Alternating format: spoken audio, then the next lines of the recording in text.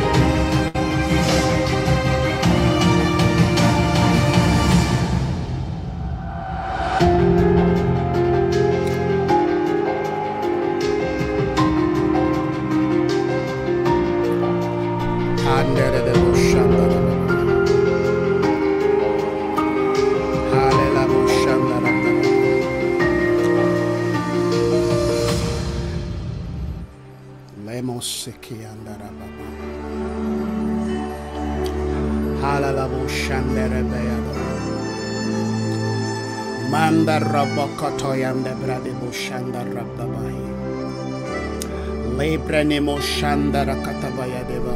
Thank you, Father. Handere boyada boko shanda rababakaya. Mambradoso kayande rebbe balibrono moshi embrado gazebala bahakayado. Thank you, Father. Thank you, Jesus. Mande rebeyantom brogdavaze. Ando robbo. Glory to Jesus. Glory to Jesus. we worship you, Lamb of God. Friends, once again, welcome. Excuse me. Once again, welcome to the Portals Gate. Uh, uh, this morning. I want to welcome you. If you're joining me this morning, wherever you are, thank you for joining this morning. Well, this morning, by God's grace, I'm just going to get straight into some very important uh, um, nuggets and you know thought line God has been dropping into my spirit in relating to you know what He has been speaking to us. I hope we you know are taking this you know words very very serious and uh, you know important i hope we are guarding these words in our heart because what is going to save us in days to come will be the things that god amen has said to us in the past so we have to be like mary we have to learn amen to take in the word of the lord and guard them jealously, amen, within the concepts and structures of our being. Let us pray. Father, we come before you this morning. We thank you once again for your voice, your heart. You're speaking to us regarding the days before us. We're looking into this year and beyond. You're talking to us about how to occupy and we are beginning to understand what you mean because oftentimes when you speak we don't really get a full grip of what you have said. So we thank you lord that you are unpacking this word to us. You're revealing your heart to us. You're revealing your mind to us. You're showing us your intentions. You are speaking to us. And we're asking lord that our spirit oh god will continue to grow and mature and be attentive to your voice that in the days where we are seeing the shared level of darkness and deception, oh God, that has eaten deep into your church, oh God, that we are once again turning our hearts to you. Yes, Father, crying out to you to help us, oh God, that we will not be swept away by the deception, by the delusion, oh God, by, by the by the wiles of the enemy, but rather we will continue to look unto Jesus. We will continue to look unto Jesus, who is the author and the finisher of our faith. That anything that does not recognize, that does not see and appreciate Christ, oh God, will be things that we will reject, we will refuse. So we thank you.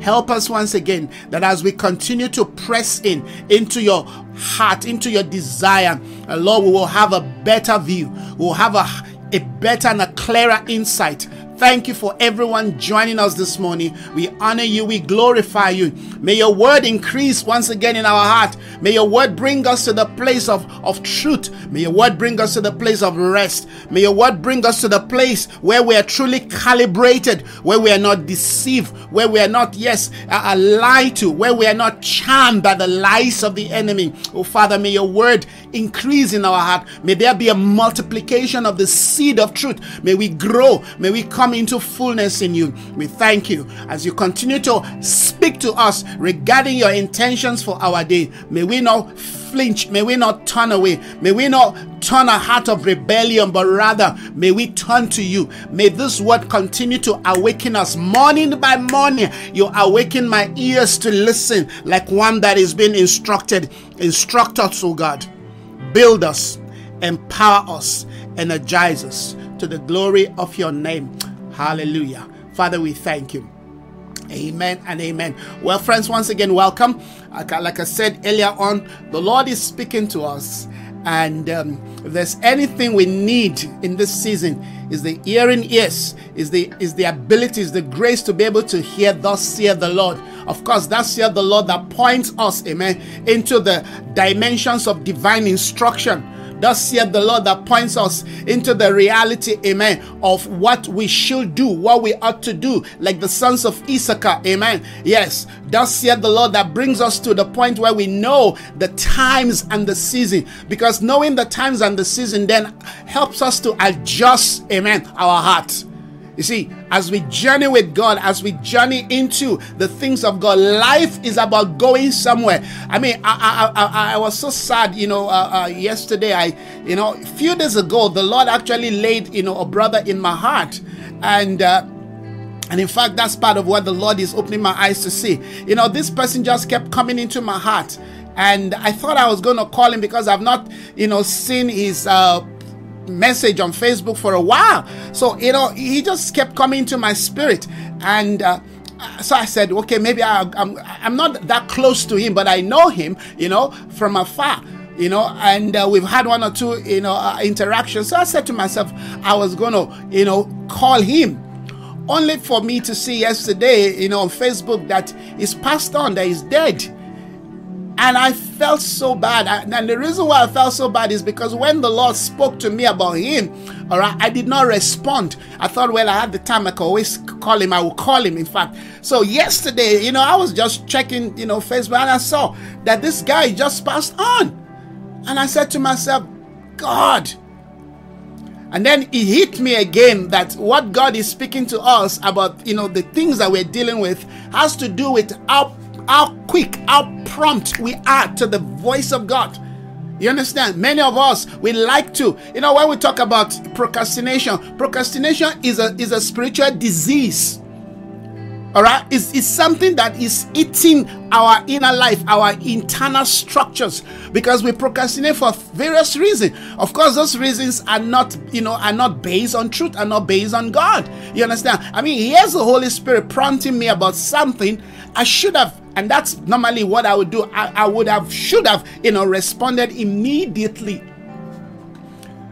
And if I'd done that, I'm sure I would have felt a bit better that even if he's dead, I would have felt better that, oh, the Lord really actually drew my heart towards this person, but I didn't respond immediately, you know. And so when I saw his obituary, I was like, God, help me here. No, I think that's part of what the Lord has been speaking to me because it's on that line that, you know, for a while now, God has been speaking. Because when we talk about occupying till Jesus come, there is a mindset, there's a belief system, there's a there's an attitude, there is, you know, a way of existence, a way of living that they are drawing us into. All right, like I always say, you know, occupying is not just about occupying a space you know in the in the natural human realm yes we will do that if we have allowed the lord first of all to occupy our life in such a way that when you speak we are able to quickly respond and adjust. We're able to you know move. That what we're doing is not based on our own human intelligence but based on the instructions the guidance the leading of the holy spirit. And to me that those are the things that is you know uh, uh, uh you know making you know sense here all right? Be, be, being awakened in our response system being awakened all right? Being prompt amen yes. Being quick amen to to respond. And and that will deal with excuse me that will have to do with a, a, um, a belief system. And that belief system we've been able to trace it to what is known as the mind of christ Amen, friends. We've been able to trace it to something that is known as the mind of Christ. That the mind of Christ, amen, is a spiritual philosophy that God wants us to wear in engaging, amen, the nature of the days that we live in. Excuse me. that the mind of Christ is a spiritual belief system.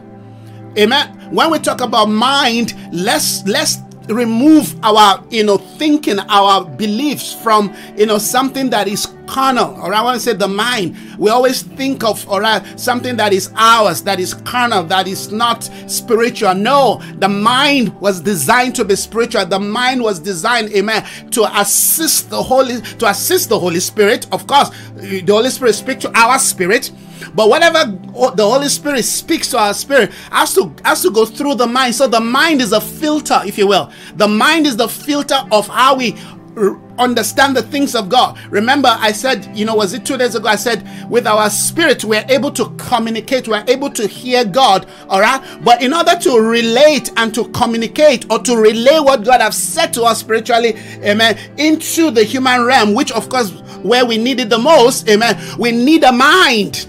The mind, amen, is the gateway in engaging, in relating, in connecting, amen, with the natural physical realm. All right, your mind, amen, is the is the filter, is the is the image of your attitude, of your belief system, of your character. Who you are, amen, to the world is reflective on in, in relating to the state of your mind. So your mind plays an important role, amen, in your you know spiritual position, in your spiritual understanding, in your spiritual interaction. You cannot, amen, leave your mind to wander away, to be hijacked by the enemy. You understand? So, and when we have been we've been looking into what the mind is and what the mind represents, because at the end of the day, your life is the summation of the state of your mind. No matter how good you are with prayer, no matter how good we are, you, you know, with the Bible, with on the, you know, you know what the Bible says. If you cannot play out, act out, demonstrate what, amen, you've read, you're as good as as you know any other unbeliever. There are, I mean, that's the reason why we say people are religious. To be religious means to have this knowledge, knowledge, knowledge about the things of God, but yet, amen, your your your posture, your interaction, your you know mannerism, your behavior, amen, speaks otherwise. So we, we're coming to the place of unism. We're coming to the place, amen, of, of you know congruence. We're coming to the place, amen, of oneness. We we're breaking away from duality. Amen. We want our spirit, soul, and body, amen, to walk in unity, amen, in obedience to what God, amen, requires and demand of us. And that is gonna require that we become, amen, we become deliberate, we become, amen, yes, you know, uh, present, we become, you know, there's a word that I I need to, you know, that I, I you know, I'm, I'm looking for. We have to, amen, you know, be, be it, it must be something that we're deliberate about. You have to be deliberate about how you're going to live your life today, what you're going to do, how you're going to do it. Amen. It cannot be just doing it because that's the way everybody does it. No, you you must say to yourself, this is the way God wants me to live my life and that's the way I'm going to live it. And this, amen, will speak into some of the things that we are tracking. And so, uh, uh we, we've been dealing with some very important point uh, and I just want to share some points with you this morning. Like I said, the Lord woke me up with uh, uh, some points and I really really want to drop them. Let's let's start amen by looking at Romans 13, all right? Romans 13 and few other scripture gives us a framework to this uh, uh spiritual you know uh, uh, uh, lifestyle if you will. Heaven is calling us into. Remember we are dealing with amen strategic occupation, how to occupy till Jesus return. That is the broader, amen, uh, uh, uh, you know, theme of this message. Okay, the broad theme of this message is occupy till Christ return. And that's what the word says, all right? They say we must occupy till Christ return. Now that that that is a very broad, you know, you know, subject that requires, you know, not just one, you know, dimension of of sight all right? We have to develop you know a, a multi-layer amen spiritual discipline. We have to develop if you will you know dimensions of existence from every realm from every reality of what god amen has ordained for us. It, it, it, we have to come into the point where like i was describing at the early stage of this message we must have sight all around. Our sight amen must you know must be complete like the cherubims. We must have sight, we must have insight into every area, every aspect of life. That there is no amen, area that you have found blind, that there is no area you have found wanting, because in that area the enemy is going to sneak in. The battle of the earth is the battle of occupation. All right? I remember explaining to us, amen, that America has, amen, the, one of the largest, you know, military base in the world. I think followed by Russia. All right. I've not done justice to that thought pattern, but I think I'm going to do it not today because it's important. I, I want to use some natural, you know, ideologies, belief system, amen, to explain to us what we mean when we say spiritual occupation. I mean, there are some of us right now, to certain degree, you know, we've been able to occupy certain areas and we, we've been we've been able to establish our our hold our you know authority if you will in that area. But then when we look when we pan the camera into other aspects of our life you find the enemy occupying those space. Amen you find the enemy occupying those space. You find yourself lacking. You find yourself wanting in those area. Yes you have not fully, amen, become, you know, a, a, a superpower. To become a superpower, amen, you have to have resource, you have to have, amen, capacity, you have to have manpower, you have to have the kind of things that nations like America, you know, Russia, China, you know, and have in Iraq. So they're not just occupying their own, you know, immediate, you know, a nation or state, but they have, amen, ability, capability, resource, amen, to extend their tentacles, to extend extend their influence into other areas. You understand? In fact, into other nations. So they have they have a base in Djibouti. They have a base. You understand? In, in, in, Japan. I mean, what has America got to do with Japan? I mean, America is far there. Japan is on the other side. But they've got a base there. They've got a base or uh, in Hawaii, and they've got a base somewhere. You know, in Africa. Yeah, they've got base. You know, all around, all all around the world. That is how you define superpower. So that if there's an attack, if there's anything, all right, and they will tell you where we we have those base there, all right, to defend our allies. But but that's is beyond just having their allies. Is is is, is about amen. Them basically showing you know the, the, the, the, their force, their strength. Because I mean, if you've got a base in a nation, a country, all right, that is far from your geographical region, and you are able to maintain that base, do you know what it costs to maintain one base? Just a base. You know what I mean? To maintain a you know a base in you know in another territory, that is almost equivalent you know equivalent to some nations' GDP. What it takes to maintain just a base. And now they don't have one, they don't have two. They've got you know I think America's got about eight, 80 you know you know foreign base military bases. And beyond military bases, all right, they, they've got you know economic interests in those because wherever they put their base they, you know, that is just a point where they also express you understand or interface or interfere with the economy of those regions. That is how the world understand amen the concept of occupation when when when when a place is occupied it means that all right you know there are other forces there are other interests okay that you know speaks that define and determine your political you know uh, uh, uh you know trust your economic you know realities. That it's not just about you defining what you want okay and, we have seen the Roman Empire, all right. In fact, the Roman Empire used that, amen, powerfully to control and to influence the nations. Wherever the Roman Empire, all right, you know, conquer, they establish a base there.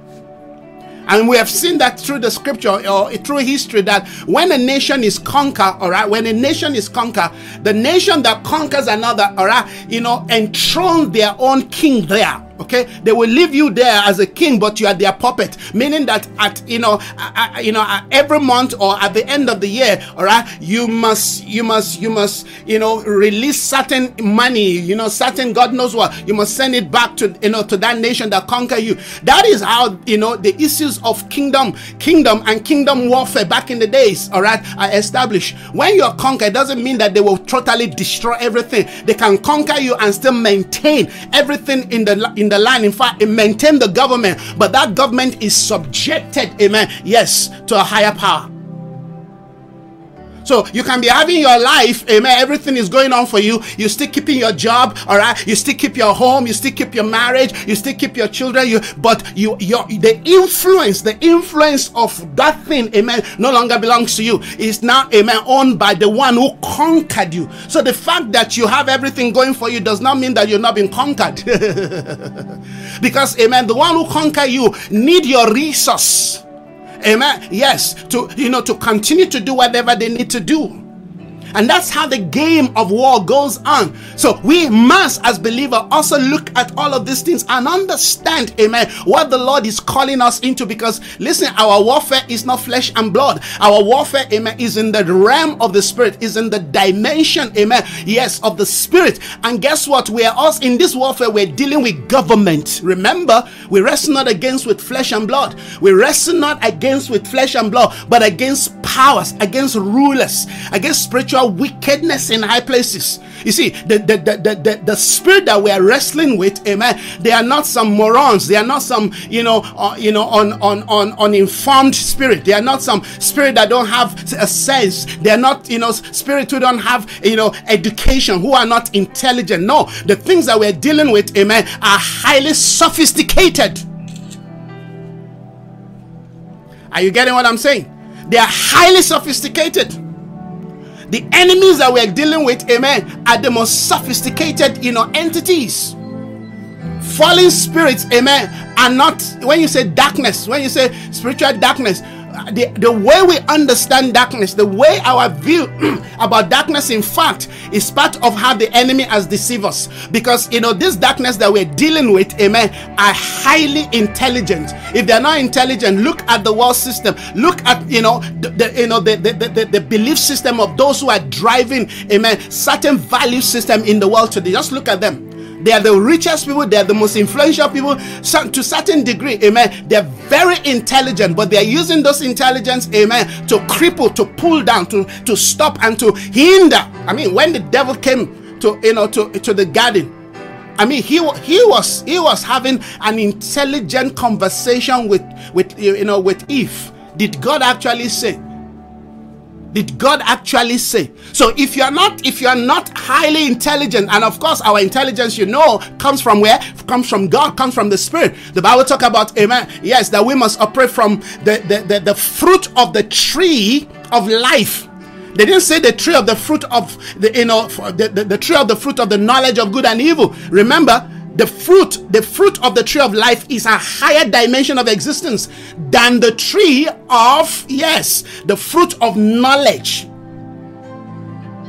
of good and evil that thing's got knowledge don't be deceived Don't be deceived. The, the, the fruit the enemy wants you to eat has got intelligence, has got knowledge. Will tell you if you if you eat this thing, your eyes will be open. You will be like God.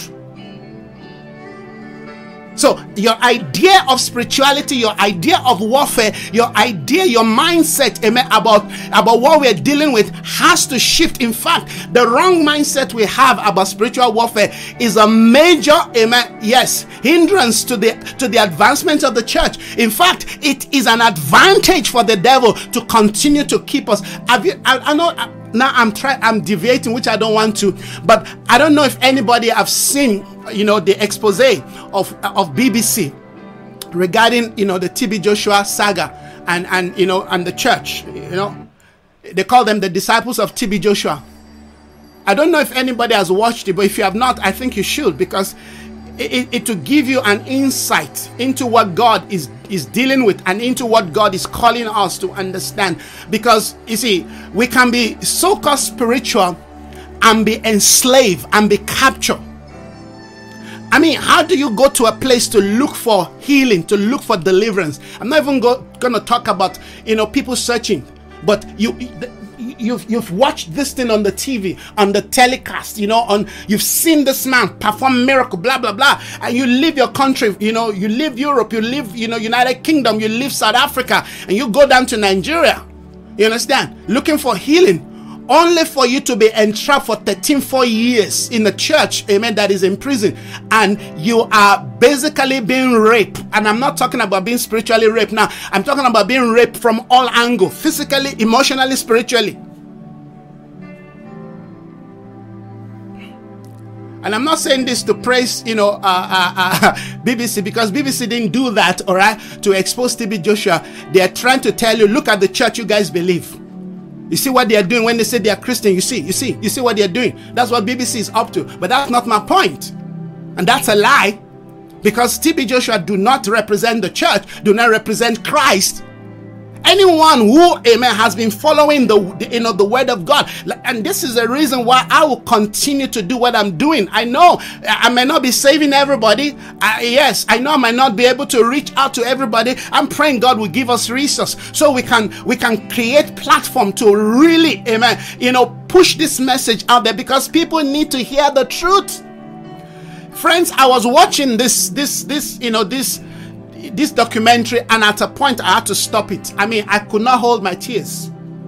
How in the world can people be so deceived? How in the world can people get to the point of being so deceived? And the people could not leave. They took their passport, they took everything.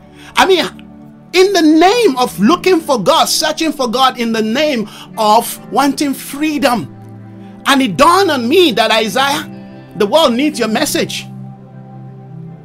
I mean, I'm here, I'm struggling with financially, I'm struggling with so many things, I'm struggling, and I'm standing on the truth, I'm standing on the word of God.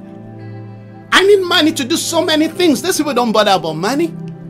In fact, the people coming to them are bringing money, and with the money they give to them, they still manipulate them. And I said to myself, Father, help me, help me, help me, help me, help me to continue to be a sound box to maybe men of God, maybe you watching me this morning. But help me, oh God, to take the truth to the ends of the earth. Because I believe that if more people hear the kind of things that I'm talking about, that we're talking about, we will save some. If we can't save many, we will save some. We will save some. And this is the burden of my heart that I'm sharing with you. And I'm not saying this thing, all right, to, you know, I'm just telling you the burdens of my own heart this is the reason why daily, as the Lord grants me grace, amen, I come and I say this thing because my heart really wants the world, amen, to know the truth, to be free, so that, amen, they don't go for religion as an alternative. Look at young, you know, beautiful women who are looking for truth, who who who, who need freedom, who are looking for deliverance go to a wrong place only for them to be made twice the son of the devil. That bothers me. In fact, it does, it does more than bothering me. It tears my heart. I feel grief. I can imagine the way the father feels. All right, that is that let's move on okay I, I, hope i hope i'm communicating i hope the things that i'm you know saying is is making sense because if we don't understand what spirituality is from the perspective of christ if you don't know that then i tell you you're a potential amen uh, uh, uh how do I put it now? You you will fall, you will be you will be lied to. You because there are so many things that will look spiritual. There's so many things that will sound spiritual.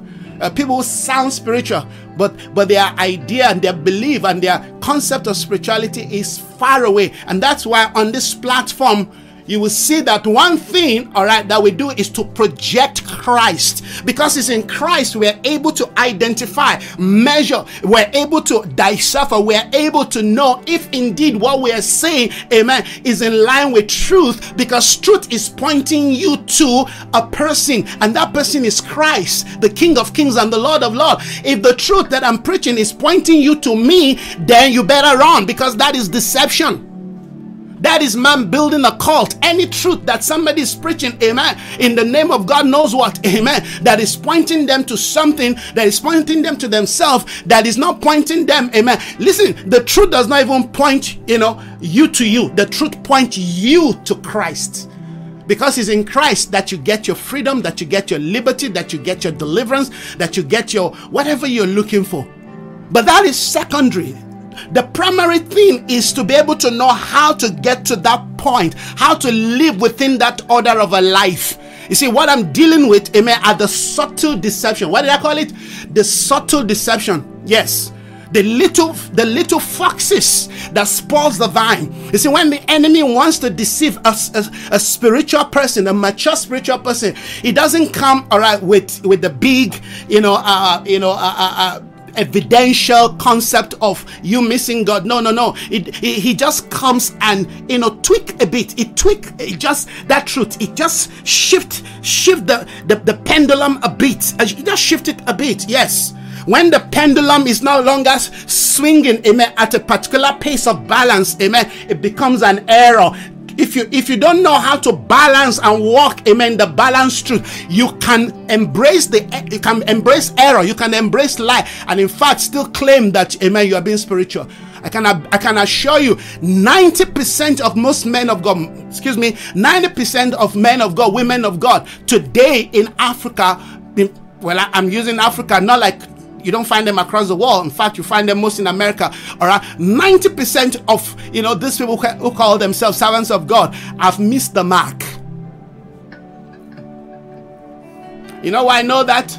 Because 95% of their message is not Christocentric, it's not Christ center. It's either is healing center, is deliverance center, is miracle center, is you know, is prosperity center, is you know, grace center. You know, sir, it's it's about what God wants to do for you. Listen, the gospel is not, it's, it's not about what God wants to do for you. The gospel is about what God wants to do through your life. So if your message is Eh, yes, come to God. He will do this for you. I can assure you, you're already building, a, you know, a pathway that is going to lead into error. Let that sink in.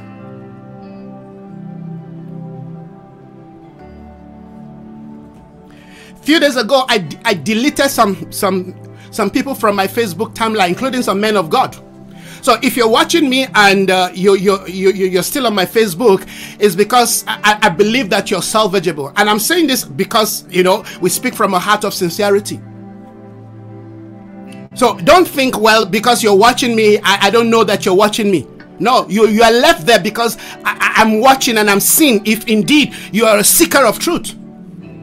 Because a day of reckoning comes I'm not looking for 5,000 followers, 10,000. No, no, no, no, no. We want, amen, this word to go into the heart of those who needs it. I'm not preaching for popularity. I can say, I'm sure by now you know that. My life is sold to Christ. So this men of God, I deleted them. You know why? Because they're all hypocrites. They encroach on you like the devil just to sneak in and listen and hear here and there and there and and either go gossip about it or take what they want to take that they feel suits them you understand yes why are you saying this isaiah because this is the day of truth And truth is not covered. Hallelujah. Truth is open. Truth is bare. I deleted them. And some few other people. You know what I do? I, you know, every six months or you know a year that, that about I go through my Facebook, you know, uh, uh, uh, friendship requests. I looked at all of the people. I, I don't do things because well that's what I've no no no no no.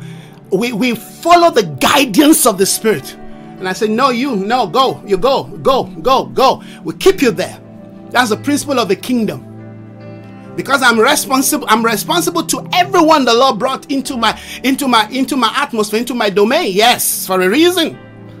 The things of God, hallelujah, cannot be handled, you know, by by a heart of levity. No. A little leaven, they say, leavens the whole lumps. A little leaven leavens the whole lumps. The truth we know is what sets us free. The truth we don't have a relationship with will never set us free. Why are you saying these things? Because God wants us, amen, to straighten up, to align with Him. Another place where, all right, you come to hear something so that you can go and, you know, eh, eh, you know, validate your error. No, no, no, no. No. Those days are over. We, we are looking for people who want to walk the talk, who want to live their life based on the values of God and the kingdom. And that is going to cost you everything. Because it has cost me everything.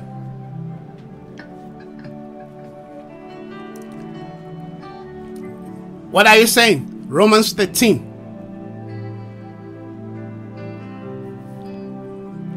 And do this understanding the occasion. Excuse me, what is the occasion? What is the occasion? Understanding the occasion. You know, like I know that, you know, occasion is determined by the event. Occasion basically is an event. An occasion, amen, will often define certain things, certain, you know, behavior, certain dress code, amen, certain mannerism. Yes. It says, and do this because of the occasion. If you don't know occasion, you misrepresent. If you don't know the occasion, you may be embarrassed. If you don't know the occasion, amen, you may be saying the the, the wrong the, the right thing on the in in the wrong platform. occasion and do this. That word is, is a call to action. And do this understanding the occasion. Now he's gonna explain that occasion, but I'm trying to expand your mindset. I'm trying to call you back to, you know, I mean, when you know that many of you this morning will be dressing to go to work, right? Many of us will be you'll be dressing to go to work. Now, there's a way you dress to work, amen, from Monday, you know, to Thursday. I know that it, you know Friday, you know, most companies across the globe has kind of softened, you know, a dress code. In fact, Friday they they they they, they you know they allow you to to dress casually so on Friday, you see a lot of people with you know and jeans, you know, and just maybe a loose shirt because it's Friday. I mean, I don't know where that comes from, but that is a general accepted standard. Okay, today, but you can't dress khakis and in jeans and your shirt on Monday to work. Even though it's accepted, amen, on Friday, but if you do that on Monday, people are gonna look at you like, you know, there's a way your boss is gonna look at you. There's a way your colleague are gonna look and say, okay, so what's what's going on there? Or are you you know, just coming to work, you know, for maybe an hour or two, going somewhere, because that would be the mindset. Because they expect you, amen, to dress corporate. They expect you to look corporate. They expect you to look decent. Amen. They don't expect you, you know, on Friday, or, uh, you know, Monday to dress your, your, your, your you know, your butt, your button is, you know, halfway down, all right, and, and you know, you just come in with a loose shirt, and you just don't care, you know, you know, you just just walk into the office doing your own thing, except in in in a culture where you know they they they you know they they, they the atmosphere allow you to dress like that from Monday to you know you know to, to, to Friday. You, and there are companies like that because of the nature of the job they do, particularly most of this tech you know company. Yeah, but if uh let's say Max Mark, you know, Mark, Mark, the owner of Facebook or whoever, all right, is invited, okay, to come speak to the Congress, to come speak to the House of Senate, amen, to come give a report about something. You understand? Yes. There is, there is, there is this unwritten code of how you have to dress.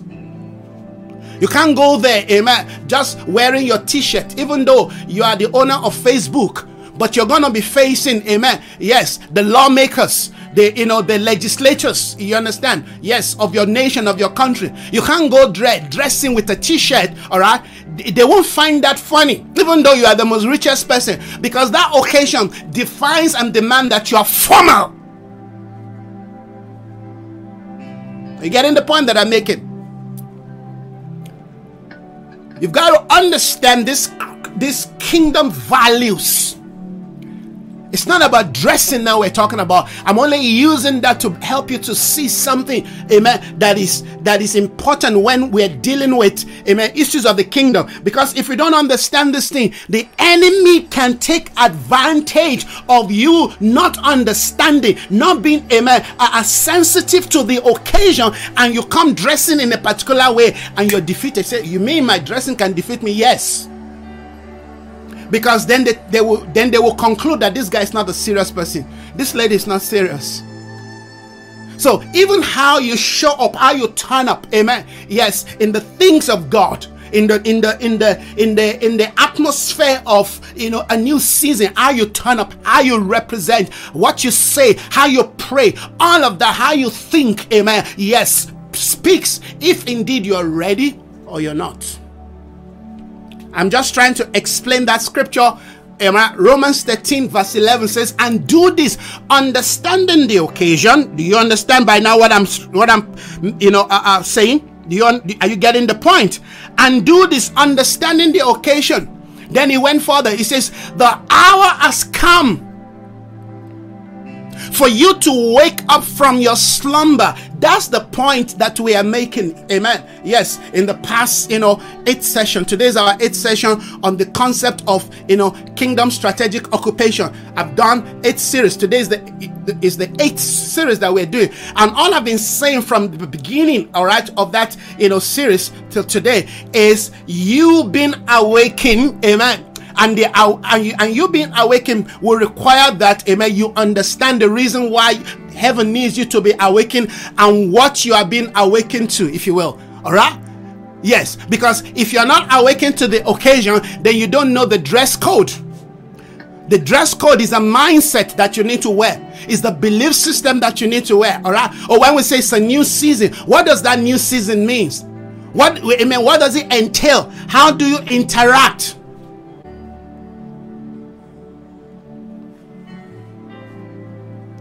How do you interact? When you go to, excuse me, when you meet somebody for the first time, how do you speak? What, what, what? How do you communicate? How do you interact? How do you present yourself? Do you know there are people who are very good in reading other people? They've studied that in psychology. Particularly those who are in the business world. You know, one of the things that if you're a CEO, if you're a CEO, one of the things that you're going to learn, all right, in the business school is how to read people, how to how to read the environment. Because they, they because they know that you are going to be speaking on behalf of a company. Beyond that, all right, you're going to be interacting on issues that is going to cost the company. Maybe you, you want to seal a deal, all right, that is going to worth millions of dollars or rand, okay? You, you cannot just go there and, and speak on a face value. No. They, they, they want you to read mannerism. That is some of the things, amen, they teach. All right. Uh, uh, uh, what they call it now? You know, in one of these courses, they, they, they teach you all of that. They teach you how to read people. You know, the way they move their eyes, the way they raise their eyebrow, all right, the way they smile, okay, the, the way they dress, all of those things about your life that you don't see are a message to other people.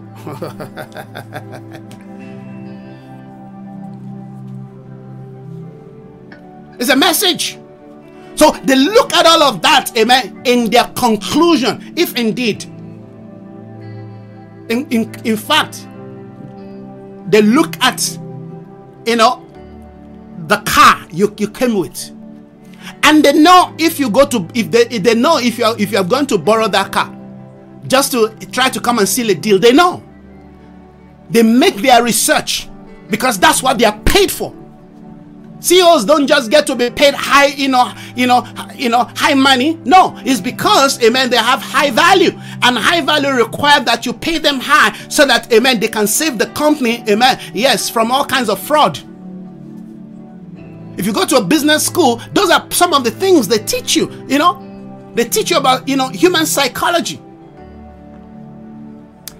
Maybe I'm maybe I'm overflogging this message, but I hope somebody's listening to what I'm saying because many of us, you know, ignorantly are falling into the trap of the enemy because we lack discernment, because we are not awakened. We are not awakened to truth. Truth is vast and truth is complex. You can be limited, amen, with the truth you have, or you can grow and expand in the truth. It all depends on the condition or the quality of your spiritual state. Why do you think, amen? Yes, CEOs are not dumbling into spirituality in running companies because they understand that even if they don't know what spirituality is, but they need spirituality in the space of running a business because business is about spirituality. they know that. You may not know that. You may not even appreciate that. You may think business is just about making money. No, the real guys who are top there, they know that this is not about just making money. They know, amen, that business is about power, is about occupation. It's a world of competition out there.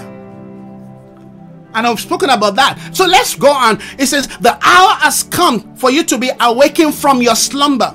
Let me ask you a question. In terms of your spirituality, what area are you still sleeping?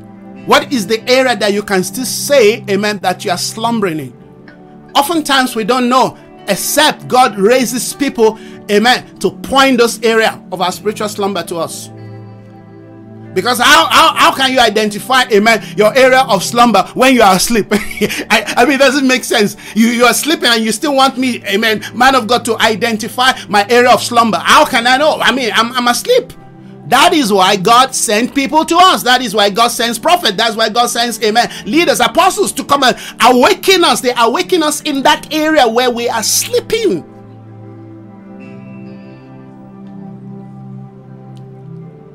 And to be asleep, amen, is to be operating in what I call blind spots. So if you're following what we're talking about, if you're listening to me, you will notice that many of our messages, amen, will awaken you, amen, from slumber, will bring you, it will bring to your awareness, amen, those areas, amen, of your blind spots. You cannot follow this message, this platform. You cannot be following me and not be aware and not be awakened. No, you will because that's what the message is all about. The message is calling you to have spiritual sight. And we're saying that sight, amen, can only, amen, be harnessed when you walk, amen, in the awakening of the realities of the demand of God for your life.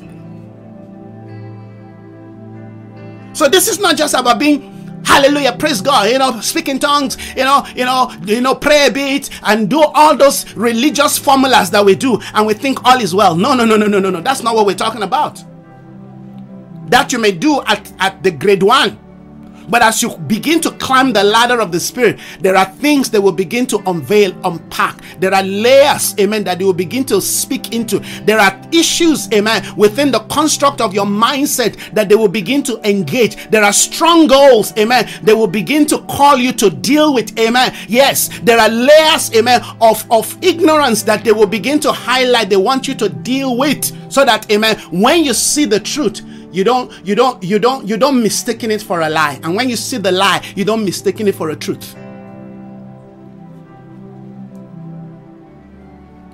Highly important principles there, friends.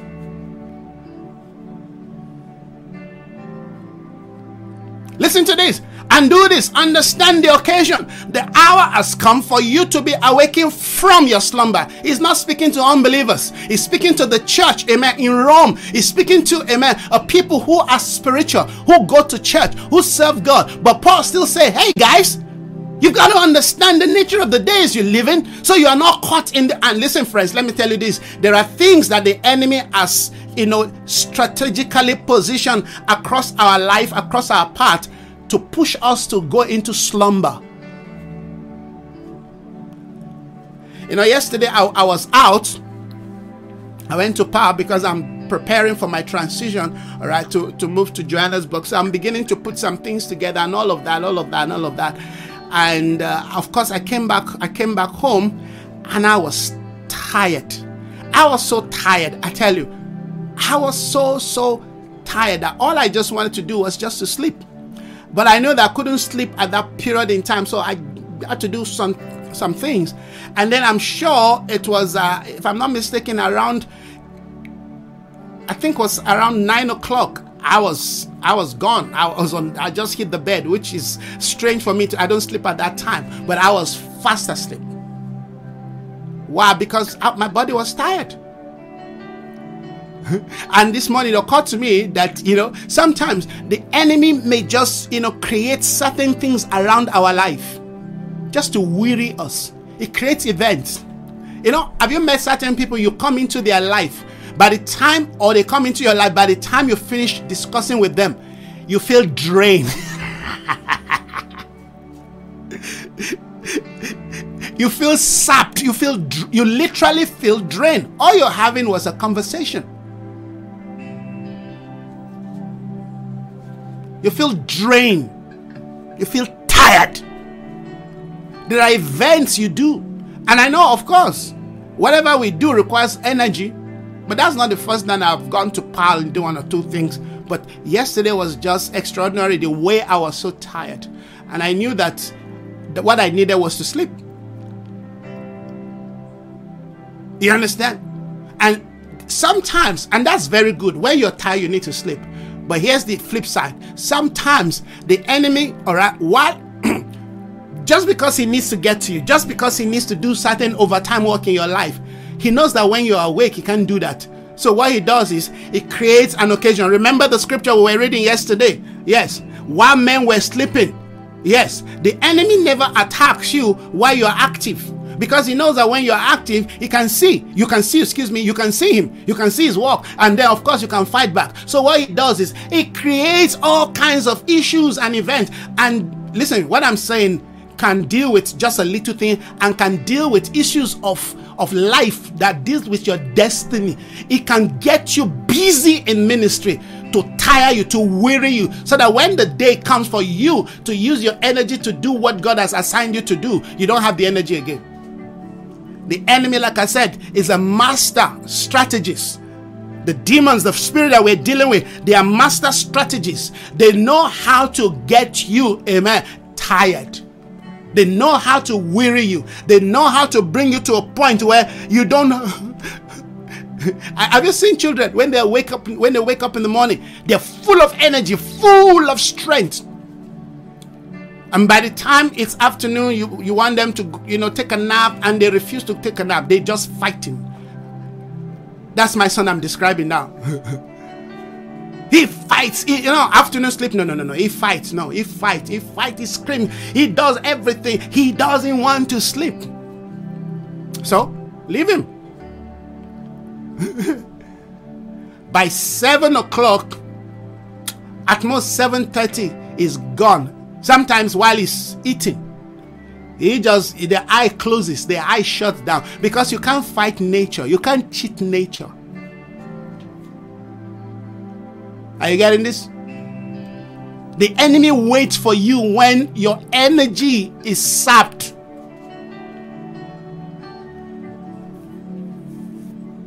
That time when you lift his hand, he's like a, he's like a dead person, you know. Uh, yeah. That's what the enemy does to many of us. You think I've got energy, I've got strength. I'm not. Eh, okay, they say, leave him, leave him, leave him. we know when to come. Like I always said, the enemy is not in a hurry to strike you.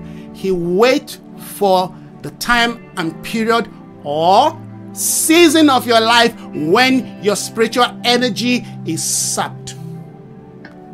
Then they come for you.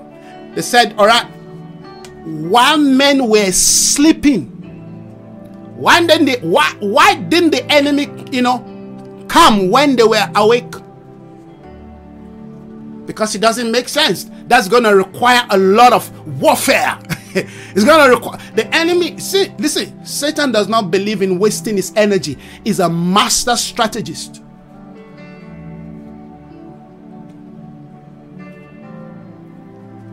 He's a master strategist when it comes to warfare. And that is why I'm dealing with the concept of warfare, kingdom warfare, amen, in the in the call to occupy. You know, every one of us has got a point of weakness, a place of weakness. That's why we must live our life in the Lord so that when you're weak, his strength is perfected in your weakness. But if you don't know that, okay, and you think I've got strength, I can do my own thing, I can do my own thing, they say, Leave him. leave him. Or leave her, whichever one. Is somebody listening to me?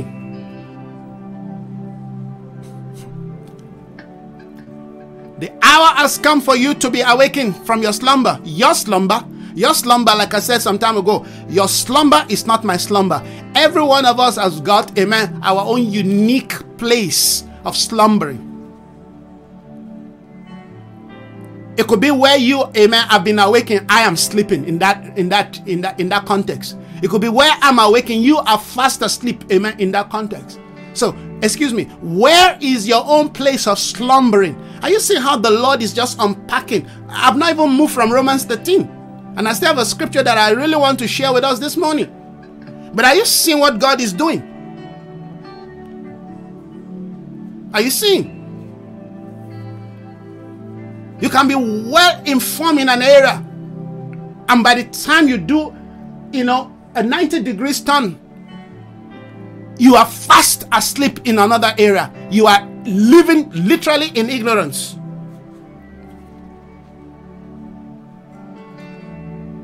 And the enemy like it so.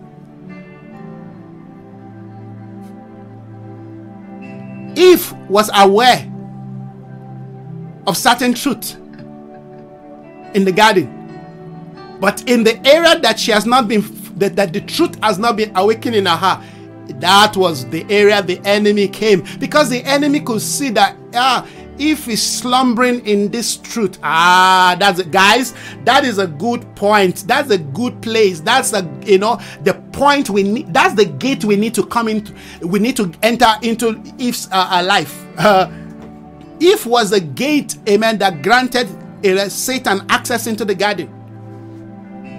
Amen. And I don't mean to say anything negative to all the ladies. No, no, I'm not into. I'm not into all of those, you know, nonsense teaching. They say no, you're bashing the ladies. No, no, I'm not into that. This is a reality that we're talking about, and we need to know. Amen. We don't apologize for truth. So this is not about no, no, no, no, no, no. It, it that's the that is history. That is what happened, and we need to correct it in our own day. Eve was amen the the weakling, the gate that the enemy yes used to access the garden. Even though the blame, amen, is to the man because where was he? but my point is, Satan did not go and speak to Adam. Satan went to speak to Eve because you know Satan could see that this area, if if was not sure, because she's been thinking about that fruit. She, she's been thinking. You read the scripture for yourself. So the enemy only capitalized, yes, on a weak spot, on a weak area in the life of Eve. Did God actually say? Adam was aware of what God said, but Eve was not fully persuaded. Let's leave it that way. Eve was not fully persuaded. Because through the conversation, you will notice. but to make it more worse, Adam, even though he knew he abdicated. So, excuse me, you can know and still abdicate, amen, your position, your persuasion, amen, your sense of authority, just because you want to pacify, just because I think Adam, amen, of course, you know, should take all the blame, but Eve also, of course, has her own blame because she shouldn't have entertained. Yes, Lucifer and I believe one of the reasons why Eve entertained Lucifer was because of the way Lucifer presented himself. Remember, Lucifer, amen, that's his name, that's his real name. Satan, amen, is a description of his character. Oh, I love this. Satan is a description, amen. Satan is a is defined as the deceiver, but the word Lucifer means the light bearer. So when Eve saw this guy, Eve must have thought this must be one of God's angels. Of course, he was one of God's angels, but a fallen one.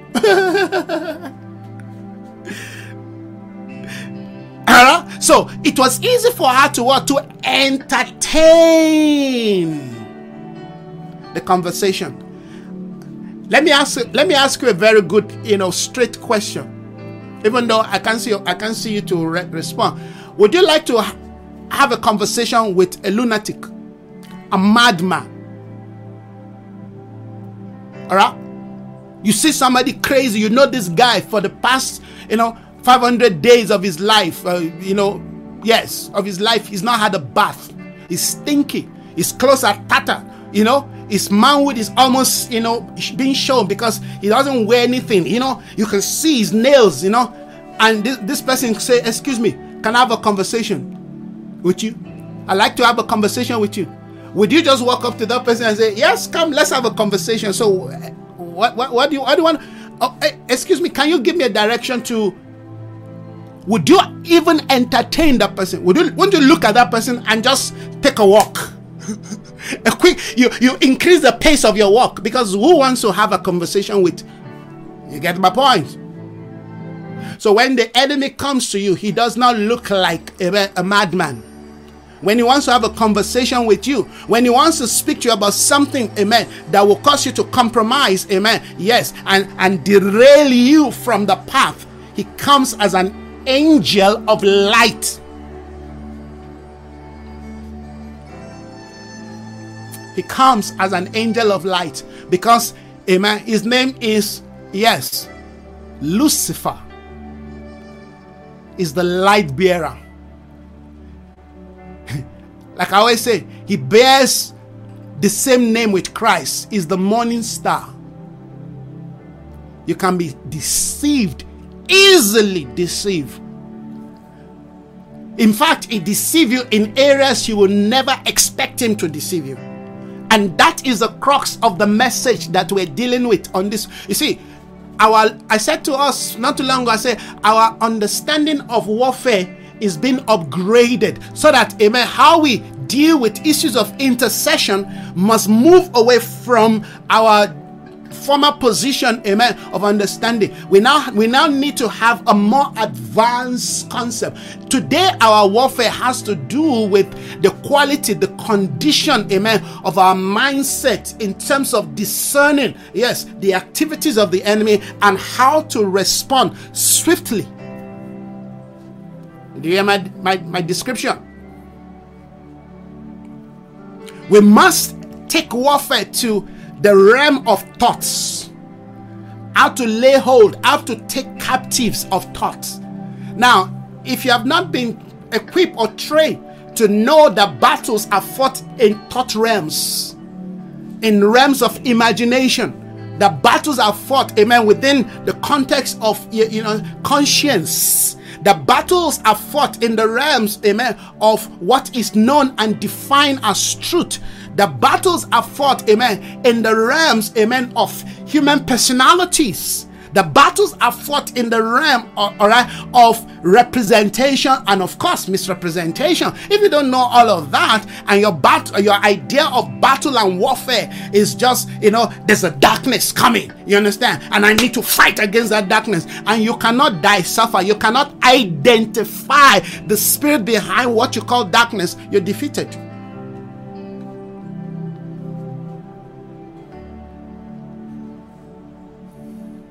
The hour has come for you to be awakened from your slumber for our salvation.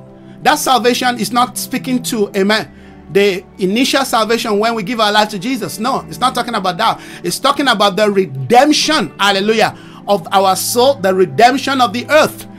Bible says the earth is groaning. Yes, for the revealing, for the manifestation of the sons of God. There are things that God is redeeming today, all right? Yes, that we, are, we don't even have a, a clue about. There are cities, nations, dimensions of human lifestyle, belief system that are going through redemption. That was salvation is speaking to redemption. He said, For our salvation or redemption is nearer than when we first believe. So you see, so he's not talking about, you know, uh, you didn't believe. Of course, to be to first believe means to have given your life to Jesus.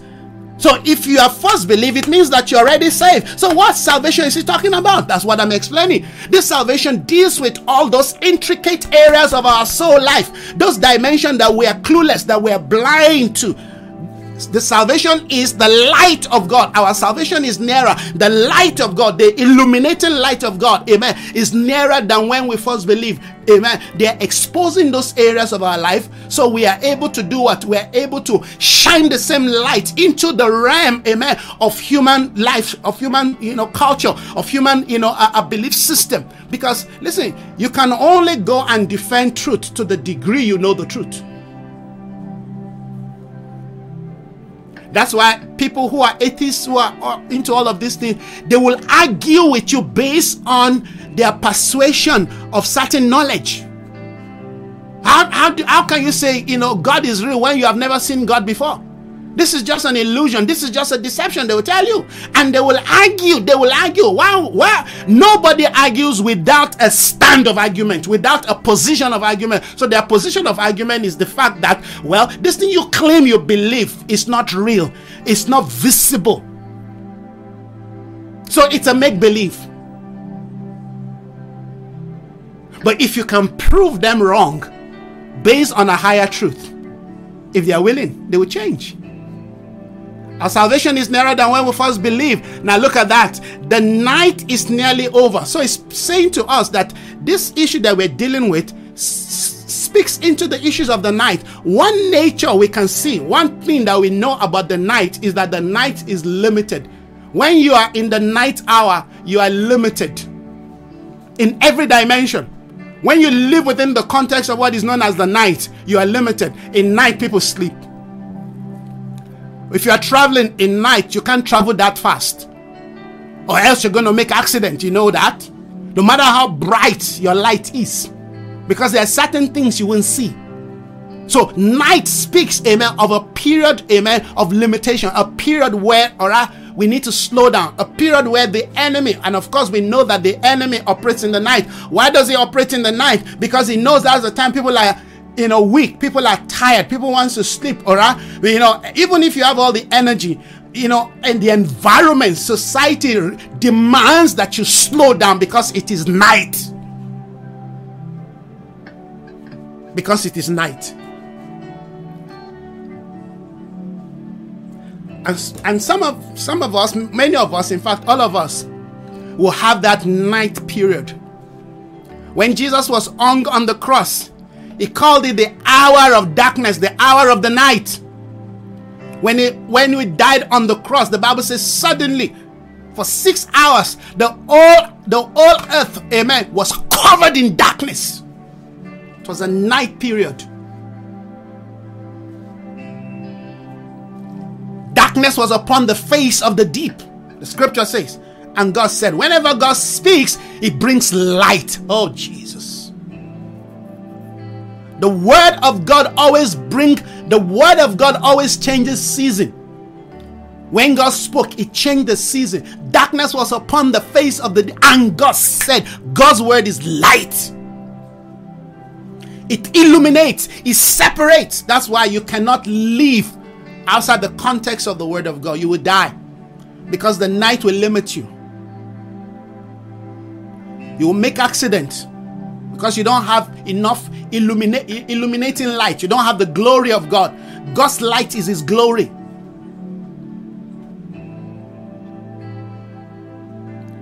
Are you are you following?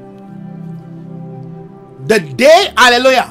We're reading. He said, For our salvation is nearer. I'm reading Romans 12. Our salvation is nearer than when we first believe. What's the attitude here? When you're getting, amen, into the into the season where amen, the day's about to break. That is the time you feel, amen, you want to go into slumber, you feel tired, you feel weak, all right? When you've been awake through the night, you've been walking through the day, let's say you're doing 24 hours, you know, walk, all right?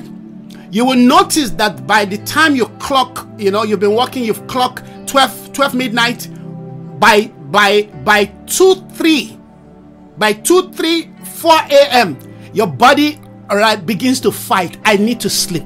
All you, all your body will be screaming is i want to sleep. I need sleep. In fact i i'm not sure if i read this article or i heard somebody said this all right that now i need you to watch me while i said this. This person said this made this profound statement. He said he said human body all right can can take you know the the idea of not eating for 21 days human body you can you can you can live without eating for 21 days.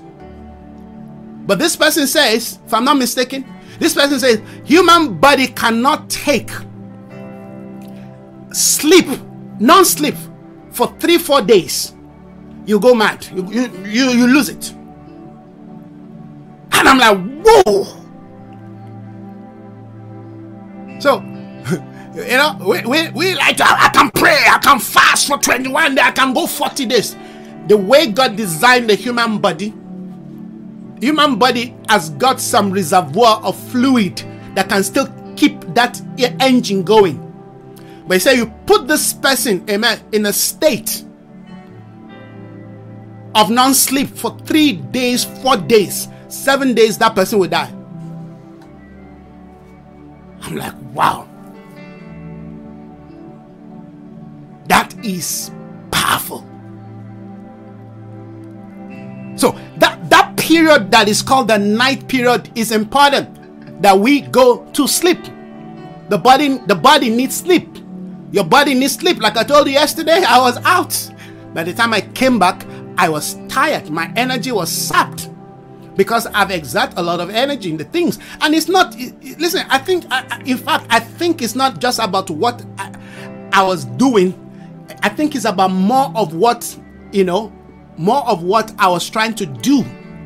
Because what saps our energy is not just the physical, you know, energy we exert, it's about the condition of the quality or the meaning of the work we're doing.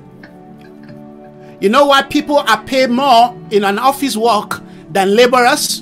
Because I've heard that argument that laborers supposed to earn more. Yes, they should earn more, but not as much as people who work in office. You know why? Because people who work in office, okay, even though they're not carrying some, you know, cement and sand, but their brain, if, if they if they ever show you the state of the condition of somebody working in the office, really working, I'm not talking about those who just you know play around. No, but people who real you the you think the brain is gonna fry because the way amen their brain is active in terms of calculation decisions you know not knowing what to do at what occasion. You see all of this has to do with what you will call you know initiative. Most people today even who are working don't have initiative. And that's why you know you know, you know, there's an attitude today to work that people don't care again. Back in the days when people are working, they are thinking ahead when I do this, when I do this, what will be the result? Okay, what can we get out of this? Including the clerk. Everybody is busy because, amen, that is work. That is what you know the environment of work requires. That you bring your brain, that you bring, amen, your skill. Your skill has to do with the condition of your mind. You put it down. That is what you're supposed to be paid for.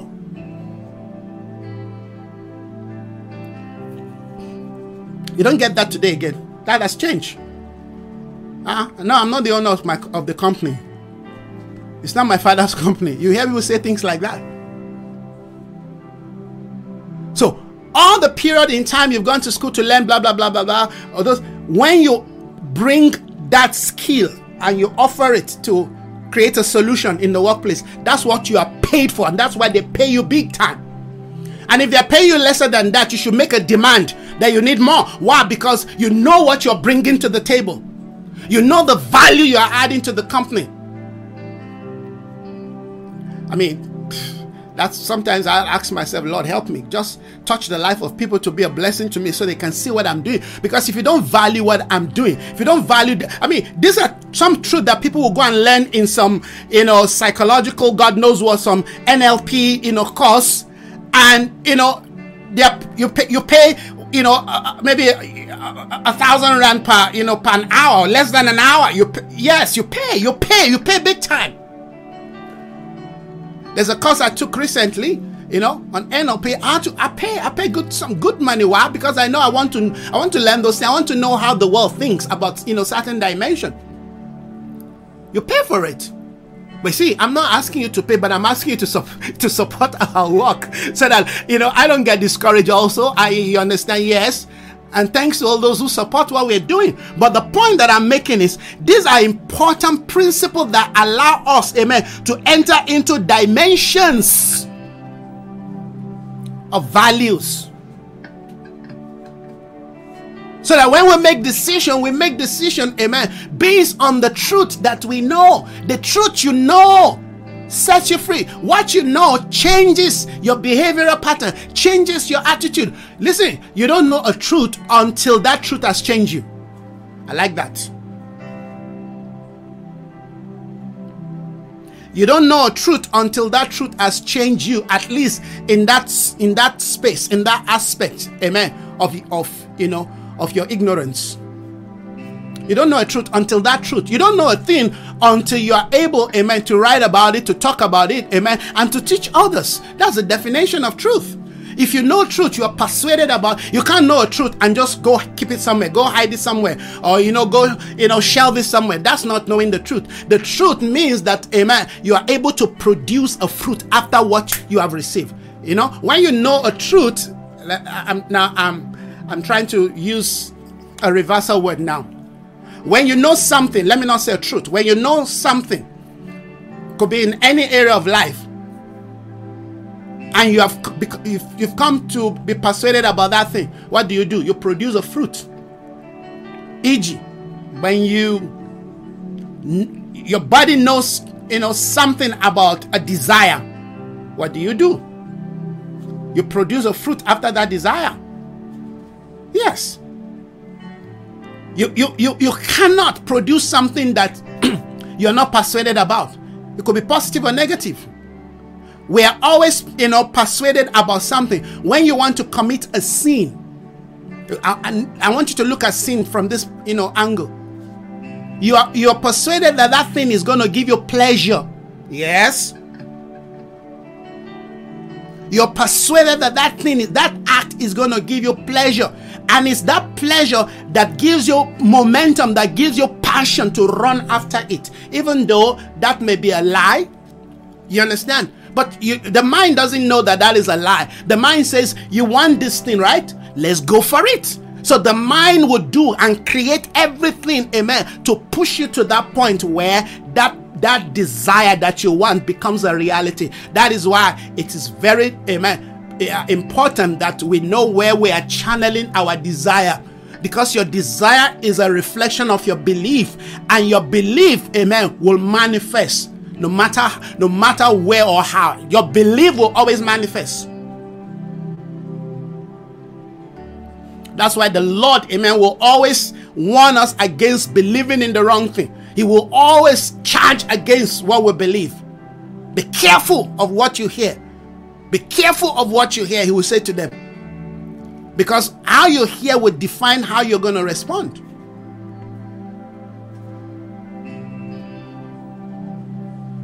For our salvation is nearer than when we first believe. The night is nearly over. That was where we stopped. The night is nearly over. And I spoke to you about night season, night limits. Night is a time where, amen, the forces of darkness, yes, you know, you know, make the best use of that opportunity. They, they, use the opportunity of the night season to do whatever they need to do because in the night, normal people go to sleep, they go to rest. But these people, amen, don't go to rest. Amen. Yes, the night is nearly over. The day has, has drawn near. Hallelujah. Can you see?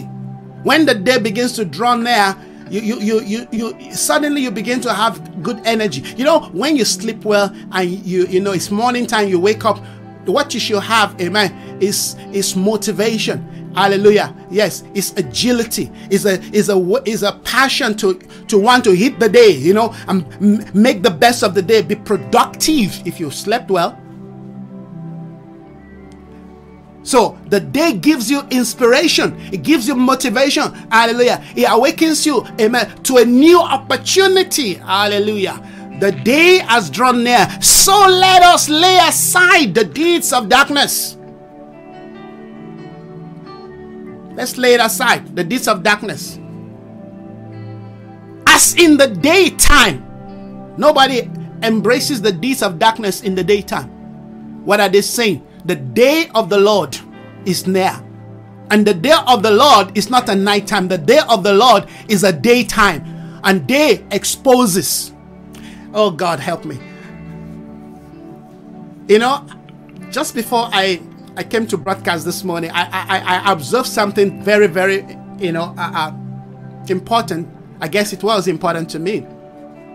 You know, behind the house here, behind the house, there are two uh, lights. There are two, you know, uh, uh, security lights. There's a bigger halogen light, and then there's a smaller one that is, you know, uh, just at the top of where my office is. All right, and uh, it's been it's not been working for for a while. So you know, I finally got a, an electrician to fix it. You know, a few days ago. So that light, the two halogen were were on, and of course the reason for that is because you know, there's no house behind where we stay. It's all, you know, uh, uh, just open, you know, a, uh, field where all kinds of things grow there, and of course the mountain, which is I, I love it. It's beautiful. You understand? Because you don't need to be fighting any neighbor. You know, your neighbors are, you know, the birds and all of that. Anyhow, so I off the first halogen, uh, the first, the main halogen light, the big light. I offed it because, of course, the, the day was dawning. So while I went, I went to make my tea, the second halogen light, I was able to look at it through the sliding door. I said, "Oh, I need to put up put off this light." But you know, while I was thinking about that, it's like the Holy Spirit drew my attention. Just look at that light again. As I looked at it, I saw that as the day was dawning, as as you know, the sun was coming out, it makes that light almost redundant, irrelevant. The light was on, but I'm looking at it and I'm saying to myself, wow, this light doesn't look bright. Of course, it doesn't look bright because there's a higher light, there's a brilliant, there's a more super light that is shining. So the point was that even hallelujah, in your in your darkness, the light that you have may be very powerful.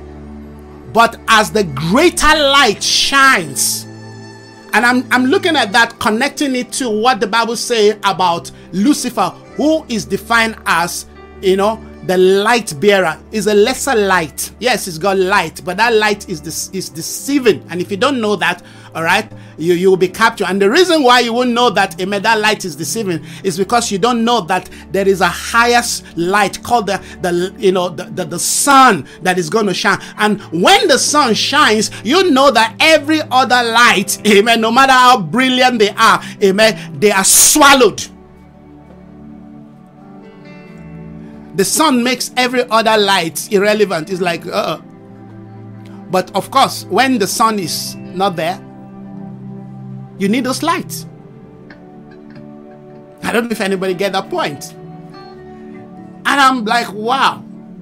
It, you know, it's like that light almost means nothing. Why? Because the sun is coming out. So you hardly see the value of that light but you still need to put it off because it will be a waste of energy. But wait when amen, the sun has set. You need those lights. You need the two halogen at least to keep you. They are not the brightest. They will not be as as bright as the sun. You will not be able to see everything. But guess what? They still shine. so my point is, why don't we live in the dimension, amen, of the brilliancy of the sun perpetually? So we don't need lesser light because that's what the enemy does. He offers to us the light of Lucifer, and we think we're walking in the light. Oh, God, help me here. And we're deceived. And this is where religion comes in. This is where people uses all kinds of gimmicks. You will see a bit of light. People went to TB Joshua's, you know, church. There was a bit of light they were seeing there. They watched, they watched the TV. They saw cripple walking. They saw, you know, miracle. They saw all kinds of things. Then they were persuaded. Then they left their country. Some of them, amen, left their family to go to synagogue only for them to meet darkness. But they were attracted by something that looks like light, that sound like light. God help us. May we not be deceived. Friends, I'm only able to do one you know one scripture today is amazing, isn't it? The day has drawn near, so let us lay aside the deeds of darkness and put on the armor of light. Please go back and read Romans 13. Can you see that light is an armor? Now, what is light? Let's look at that again. The day has drawn near, so let us lay aside the deeds of darkness. I quickly want to emphasize on that work, on excuse me, on that word, the deeds of darkness. Darkness is an active word. Darkness is not the way we look at him. Oftentimes we think darkness is just a state. Darkness is not just a state. Darkness is active. Darkness, amen, is a reflection of belief, attitude. Is a reflection, amen. Because everything that, amen, we see that we define to be darkness are always something that is evil. But that evil is carried out. If evil is not carried out, how do we know it's evil? How do we know that stealing is evil? How do we know that lying is evil? How do we know, amen, that you know, uh, uh, uh you know, fighting and all of that is evil? How do we know that? Because we see the act we see the fruit. And that is what we need to check in our life. Anything in our life that contradicts or that is an act of the nature of Christ, the ways of Christ, the will of Christ, no matter how small that thing is, it could even be anger, it's evil. Because they say, yes, you can be angry, but do not sin. Can you really, eh, can, can you really manage your anger to the point that you do not sin? The point is avoid being angry because there's a tendency that when you're angry, you will sin. Because anger makes us do things we're not supposed to do. Anger will make you do things, amen, you vow you are not going to do. It's a release of an emotion. You see, that's the point that I'm making. The enemy will work on your condition of, of thoughts, a condition of belief. Amen. Yes, particularly when you feel you're being violated. When you feel you've been violated, you want to react. When you feel, amen, that somebody, amen, something, amen, yes, has violated your values, you want to react because our life is basically defined by our values. So when somebody comes and trample on your values and say your value means nothing, ah, you fight. So the Lord says, Amen. We need to be very careful of this. Now let's let me finish. Let me finish verse 13. Let us behave. Amen. Remember, he said, put on the armor of light. So we light must be put on. We must wear light. How do you wear light? You wear light, amen, by wearing the, the values, the nature, the character, which of course can be summarized as the fruit of the spirit. You wear it. All right. So when you are acting, when you are behaving, when you are interacting with people, they must see the fruit of the spirit in your life by walking and acting based on the fruit of the Spirit, you are manifesting the fruit of light. Why? Because those are the prism, excuse me, those are the, the you know, the values or character, amen, that are manifested when light goes through a prism. When light goes through a prism, you see, amen, the nature of light. You see the character of light, which of course is manifested through those seven colors. Those seven colors, amen, are reflection of amen, what light means or what the fruit of the Spirit is. Jesus is light, amen, but the light of Jesus cannot be seen until it passes through the prism of our life, which reflects, amen, in the character, in the values, in the behavioral pattern, in our attitude. Yes. So you can't say I have the light, but we can't see the fruit of the light. You're not wearing the, the armor of light like, amen. The, Joseph's father made, amen, for Joseph the coat of many colors. What that coat represent was light. Joseph, amen, was given the coat of light. And that light, amen, is characterized in the seven colors, but you won't see them, amen, because they need to go through a prism. The prism is the character, is the values of our life, is the is the pattern of our thinking and that must grow. Amen. For people to see it. Hallelujah. I love that. I love the way we just give that you know explanation. Is that, does that make sense? So people must see amen the character of christ in you. And that character of course then laid the foundation so that when the fruits of the spirit excuse me so that when the gift of the spirit is in operation it is tempered it is balanced by the fruit of the Spirit. Did you hear what I just said? So when the gift of the Spirit is in operation, the gift of the Spirit oftentimes is what we define as the power gift. And that is what attracts people. But if that attracts people, people then must see the fruit of the Spirit. Because the fruit of the Spirit is what maintains the gifts of the Spirit in our life. This should not confuse you. This should bring clarity and perspective to your life. Because somebody can sh- display, amen, a gift, ability to interpret tongues. You understand? That's the fruit of the Spirit. Ability to exercise healing, power, miracle. Guess what? to certain degree, the powers of darkness can also operate in that dimension of power. But they cannot duplicate the gift.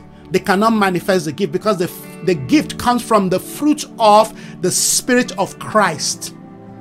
Where does the gift come from? Of course, from the from the from the Spirit of Christ. But power can be, amen, replicated. Because people can go into all kinds of things and get power. Amen. Amen. TB Joshua was not talking about, you know, him using the powers of darkness. And in fact, people who use this, you know, all kinds of demonic way of manipulation. They don't tell you that they're using, amen, you know, the, the, the, that they're passed from the powers of darkness. They, because they know that you will recognize that. So, what they want you to see is the fruit of that power, which could mean, amen, healing, deliverance, all of that, blah, blah, blah, blah. You understand? But if you begin to scrutinize their lifestyle and you're seeing something contrary to what they are manifesting, you should run away. The gift and the fruit must walk hand in hand. That's my point. The fruit and the gift of the Spirit one should not be preferred to the other, but one, amen, should define the manifestation of the other, and that is the fruit of the Spirit. Because one day, gift will cease, but the fruit will continue to last. The kingdom of God is built, amen, on both the gift and the fruit of the Spirit. But the fruit of the Spirit is what defines the longevity of the gift of the Spirit. That's a good way to end, right? I hope this morning the things that we have shared has brought perspective. I know we didn't finish, but we need to begin to stop. Maybe I should finish reading the scripture, then I'll stop. Let us behave, you know, uh, decently as in the day, not in carousing and drunkenness not in sexual immorality and debauchery, not in dissension and jealousy. Instead, clothe yourself. Remember the first one, he said, put on the armor of light. Now, verse 14 is repeating himself again, but in a different way. He said, instead, clothe, clothe yourself. Remember, I told you about Joseph being clothed, right? Yes, by the by the uh, coat of many colors. Yes, that coat of many color is a reflection of what? If you remember, light. When you take that coat, amen, and put it through the prism, what you will see is light. And when you take the light and put it through the prism, what you see, amen, is those seven colors. You understand? Instead, clothe yourself with the Lord. Clothe yourself with the Lord Jesus Christ and make no room for the desire of the flesh. Brother Paul, what are you saying? Are you saying that I can put on the Lord Jesus Christ and still open the door for the enemy to sneak in? Yes. Make no room for the desires of the flesh. So you're putting on the Lord Jesus, but you're also making no room. You are preventing any area that the enemy can use to sneak into your life. Friends, what have we been talking about? We've been dealing with, amen, issues of deception. We've been dealing with issues that will allow us, amen, to, to expose the works of the enemy. Amen. To, to neutralize the works of the enemy. Why? Because the enemy is seeking to use deception, amen, to lure us into the point where we are deceived. So we're engaging, amen, in spiritual warfare, but this warfare is speaking into the dimension, amen, of the nature of life we need to have Amen. So that we're not deceived, so that we're not lured into the lies of the enemy. I hope the things that I have shared with us this morning, amen, make sense to you. This is the concept of engaging in kingdom warfare. And this warfare requires, amen, that we are dynamic in our lifestyle, in our Eh, you know interaction that we're dynamic that we're not captured that we're not lured that we are not entrapped by the enemy okay? That we're not you know that, that we don't fall into. Yes eh, all those you know traps that the enemy has laid for us. We want to be awakened. We want to be alive. We want to be you know empowered by the spirit. And all of this amen requires that we have the knowledge of truth and know how the truth operates. Amen friends well i am done for this morning i believe that this word amen, has brought change, has brought hope, has brought light, has brought grace into your space. Thank you so very much for listening this morning. This is part of the training we've been, you know, doing on the vision to occupy till Christ returns.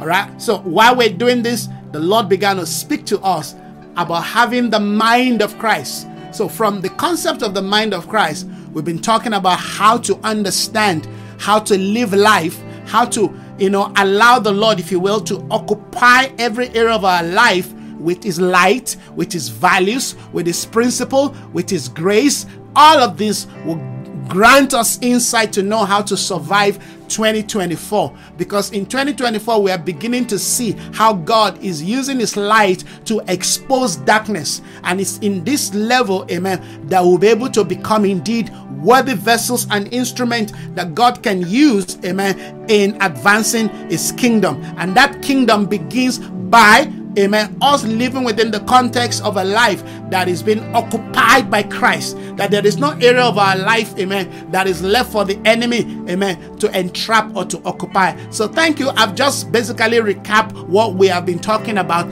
I hope this makes sense. If it doesn't make sense, please go back and watch, amen, the you know the program, you know, the the, the the broadcast again and please recommend it to somebody who need who need insight, understanding. All right, share these uh, messages, share them on your timeline. You know, if you if you know that God God is using these things to change your life, why don't you share them on your timeline? All right, uh, except you're not sure. If you're sure, why don't you let somebody else, you know, receive this truth and let let your life be a blessing to them. All right, and please uh, uh don't stop to pray for this work. Please continue to support this work. Thank you so very much, everyone, for joining this morning. We will see you again, hopefully, uh, uh, tomorrow. God is building his house, and may He continue to lead us. God bless you. We'll see you again. Bye bye.